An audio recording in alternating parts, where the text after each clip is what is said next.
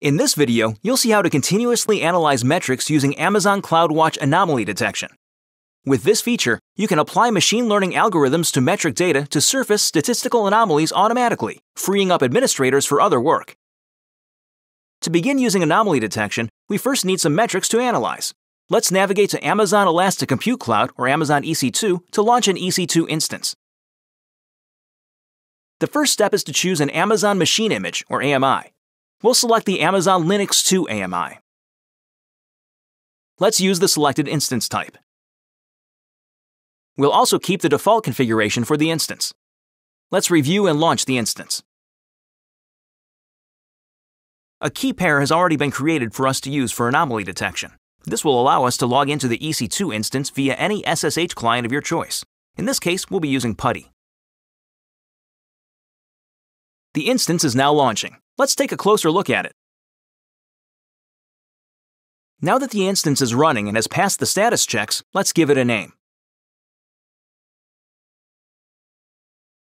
While we're here, we'll copy the public IP address and use it to log into the EC2 instance.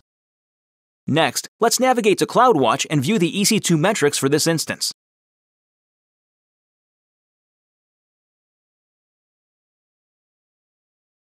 Let's create an alarm for the CPU utilization metric. We can sort the list to find the metric quickly.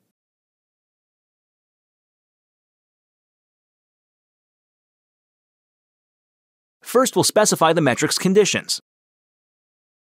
We'll change the threshold type to Anomaly Detection and leave the other settings as is.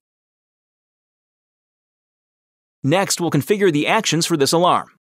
Let's create a new Amazon Simple Notification Service, or SNS, topic that will receive notifications. We'll add an email address that can receive SNS notifications.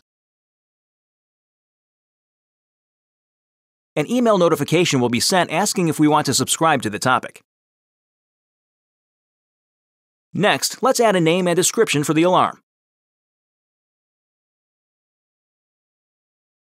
Now we can preview and create the alarm. The warning on the page reminds us to confirm the SNS subscription from our email. We'll take care of that behind the scenes.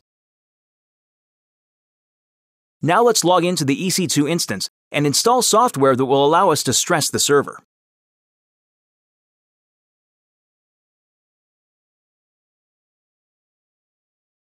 Now that the software is installed, let's go ahead and run it. While the stress test is running, the CPU utilization metrics are collected.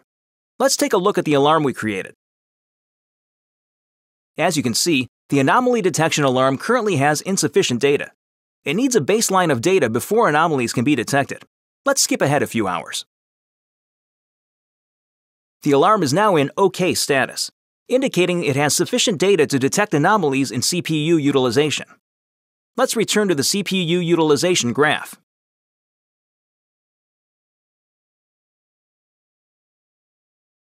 We'll rerun the stress test to trigger an alarm. Let's skip ahead to after this has been done. Now we have an anomaly. By hovering over the graph, we can view its details. When an anomaly is detected, we'll receive an email notification that CPU utilization is greater than expected.